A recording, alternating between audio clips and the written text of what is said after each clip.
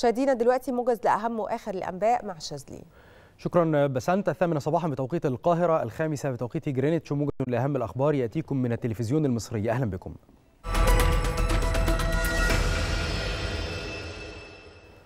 أكد الرئيس عبد الفتاح السيسي ضرورة وضع حد للحرب الدائرة في غزة ولبنان والمضي قدما بقوة في مسار وقف إطلاق النار وتبادل الأسرى والمحتجزين وإنفاذ المساعدات الإنسانية بشكل فوري وبكميات كبيرة. جاء ذلك خلال استقبال الرئيس السيسي وفدا من مجلس النواب الأمريكي من الحزبين الجمهوري والديمقراطي برئاسة النائب توم كول رئيس لجنة المخصصات حيث ركز اللقاء على الأوضاع الإقليمية كما حرص الوفد على الاستماع إلى رؤية الرئيس السيسي حول كيفية استعادة السلم والأمن بالإقليم وتجنب توسع دائرة الصراع وتحوله إلى حرب إقليمية. وفي هذا الإطار أشار الرئيس السيسي إلى الجهود المصرية القطرية الأمريكية المشتركة على مدار الفترة الماضية موضحا أن الأمر يتطلب إرادة سياسية من جميع الأطراف وضغوطا مكثفة من المجتمع الدولي لتحقيق تقدم ملموس يتيح استعادة الأمن وفتح الطريق للسلام. ودار حوار مفتوح بين الرئيس السيسي وأعضاء الكونغرس الأمريكي بشأن حل الدولتين حيث أكد الرئيس السيسي أن إقامة الدولة الفلسطينية المستقلة هو السبيل لنزع فتيل التوتر الإقليمي.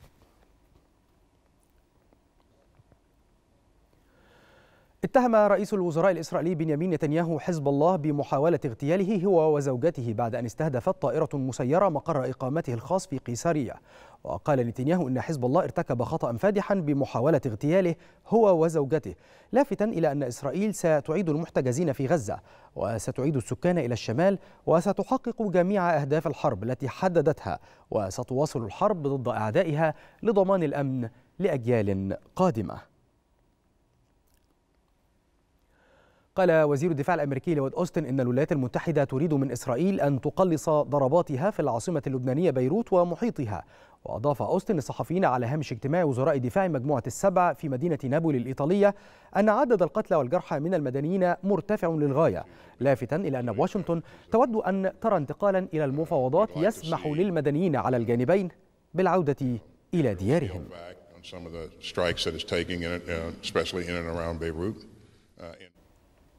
استشهد أكثر من سبعين فلسطينيا وأصيب العشرات جراء قصف طائرات الاحتلال الحربية مربعا سكنيا في بيت لاهيا شمال قطاع غزة. وأفادت وكالة الأنباء الفلسطينية بأن طائرات الاحتلال شنت غارات عنيفة على مشروع بيت لاهيا ودمرت مربعا سكنيا بالكامل على رؤوس الفلسطينيين مما أدى لسقوط شهداء وجرحى لافتة إلى أنه لا يزال العديد تحت الأنقاض.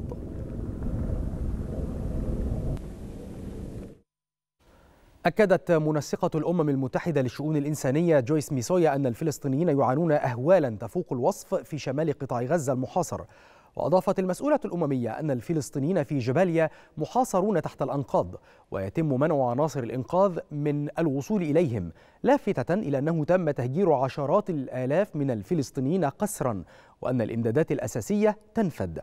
وشددت المسؤولة الأممية على ضرورة إيقاف هذه الفظائع. شهدت العديد من المدن والعواصم العالمية تظاهرات حاشدة تنديدا بالعدوان الإسرائيلي على قطاع غزة. وشارك الآلاف في تظاهرات نظمت في العاصمة الدنماركية كوبنهاجن ومدينة بريمن الألمانية والعاصمة برلين وميلانو الإيطالية وجنيف السويسرية وبرمنغهام البريطانية والعاصمة لندن واسطنبول التركية وروتردام الهولندية. دعما للشعب الفلسطيني وللمطالبة بوقف إطلاق النار وإدخال المساعدات الإنسانية إلى قطاع غزة.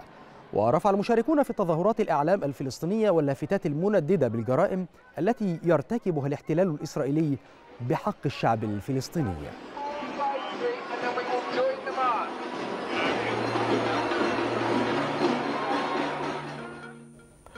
انتهى الموجز نعود لاستكمال باقي فقرات صباح الخير يا مصر ولكن بعد الفاصل.